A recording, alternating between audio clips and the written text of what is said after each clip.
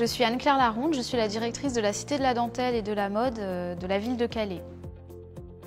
Aujourd'hui, vous êtes au cœur même des galeries permanentes de la Cité de la Dentelle et de la Mode. C'est un musée qui est dédié à la dentelle industrielle haut de gamme, qui est euh, le propre euh, des techniques dentelières de l'Europe. Je dirais que le projet euh, Google Art et Culture apporte à un musée tel que le nôtre une visibilité que nous ne saurions avoir travaillant seul de notre coin. Ce projet avec Google nous donne cette opportunité de diffuser bien au-delà des murs de notre musée ce type d'informations.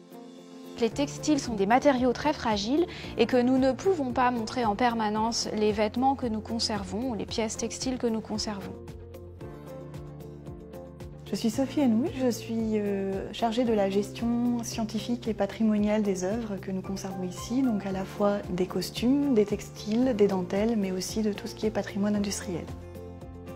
Les textiles en général sont très sensibles à la lumière, c'est pour cela qu'on les expose assez peu dans des conditions d'éclairage et de température spécifiques.